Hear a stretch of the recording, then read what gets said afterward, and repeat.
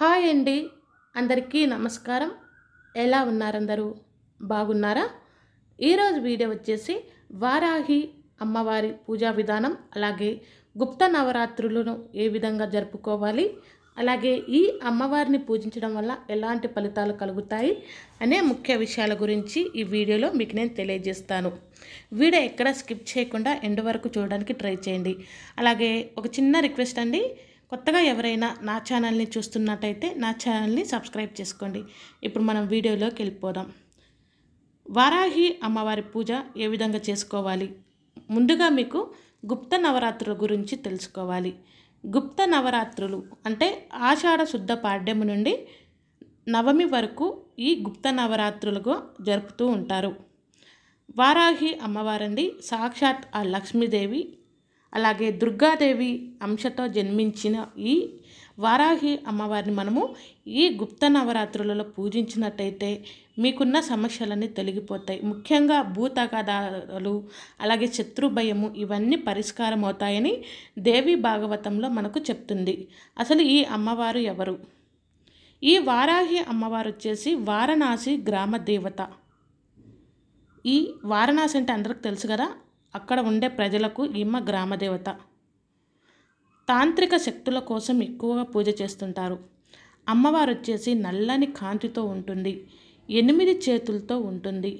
లక్ష్మీ స్వరూపంగా పూజిస్తారు అందరూ ఎనిమిది చేతులుండి శంఖం చక్రం నాగలి రోకలి ఎనిమిది ఆయుధాలతో ఈ అమ్మ ఈ అమ్మవారు వరాహమూర్తి స్వామి అర్ధాంగి వరాహ స్వామి నుండి ఉద్భవించింది.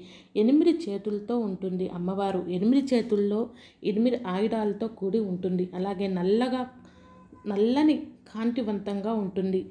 అమ్మవారికి ఎనిమిది ఆయుధాలు ఉంటాయి శంఖము చక్రము రోకలి నాగలి ఇవన్నీ ఈమె ఆయుధాలన్నమాట. అలాగే దత్తవీరుడు అనే రాక్షసుడు సంహారం కోసం దుర్గాదేవి అంశతో జన్మించింది ఈ వరాహ అమ్మవారు. అలాగే ఈమె వాహనం వచ్చేసి గేదె.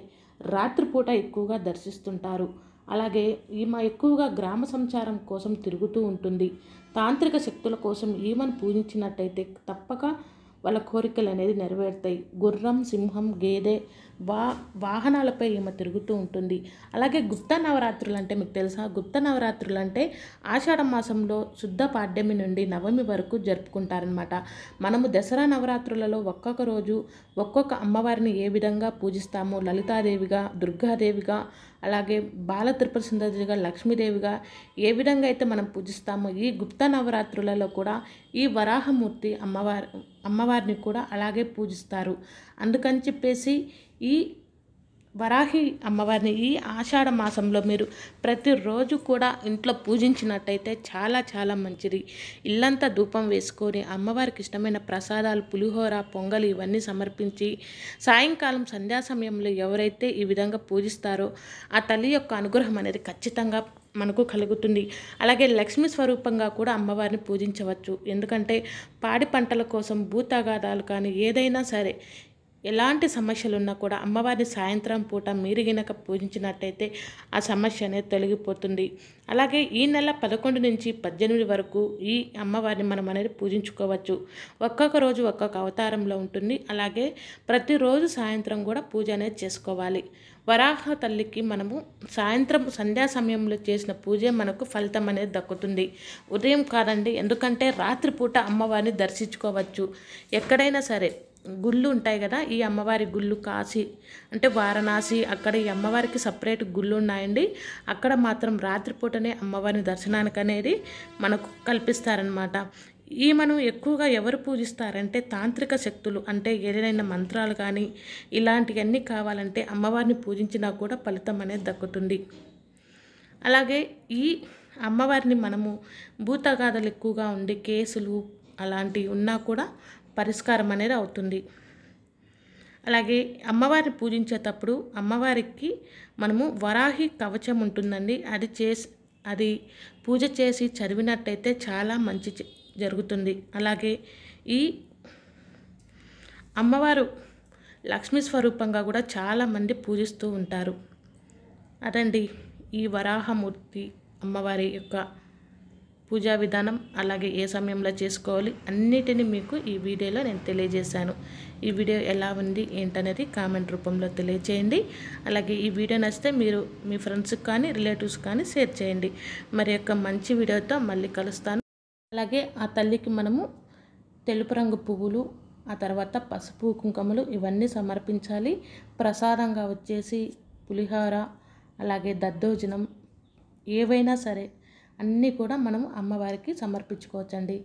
ఈ ఆషాఢ మాసంలో చాలామంది ఈ గుప్త నవరాత్రులు జరుపుకుంటూ ఉంటారు. చాలామందికి తెలియపోయినా ఇప్పటి నుంచైనా తెలుసుకొని ఈ అమ్మవారికి పూజించండి. మీకున్న సమస్యలన్నీ తొలగిపోతాయి. అలాగే ఈ తల్లి వరాహ కవచం ఉంటుంది. అది కూడా చదువుకుంటే చాలా మంచిది.